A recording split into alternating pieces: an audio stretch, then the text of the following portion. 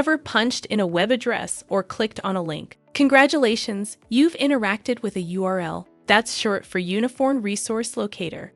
Picture it as a street address in this grand city of internet, where each segment of the URL is a different part of that address, sharing distinct info.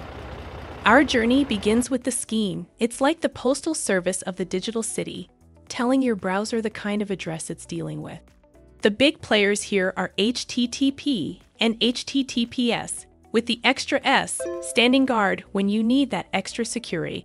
Though your browser plays it cool, often hiding the scheme to keep things neat, it's always there, working in the shadows. Now, cruising down the URL street, we hit the domain name. This is where you find out who's the big shot behind the site, like YouTube or Google. The domain name kicks off with a subdomain. Www is the popular kid on the block, and it often can be ignored. But sometimes you'll bump into others that can't be skipped, steering you to specific areas, like a shopping page for spaceshipgear.com. As we venture rightward, we stumble upon the top level domain, the classic.com is a familiar face, but there's a whole party of top level domains out there, like for the scholarly, for the official, and for the organizations.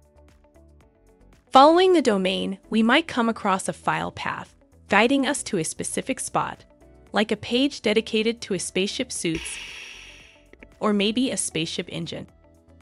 Oh, and here's where things get spicy. Some URL invite along a parameter string, or an anchor. A parameter string, kicking off with a question mark, whispers to the server about the web page to load, while an anchor, starting with a hashtag, directs you to a precise spot on a long page.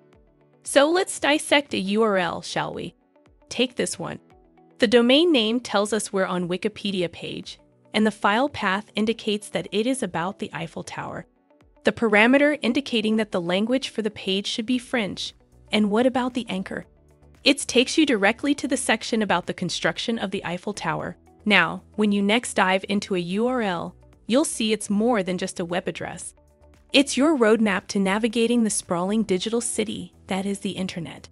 And remember, each part of the URL is a clue to where you're headed.